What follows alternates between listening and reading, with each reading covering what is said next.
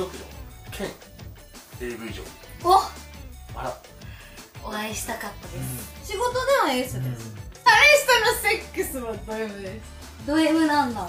え？キューブとかラスジーとか。ありますよ。特技技はあります 妄想してオナニーしてわかります。いけますよ。めっちゃわかります。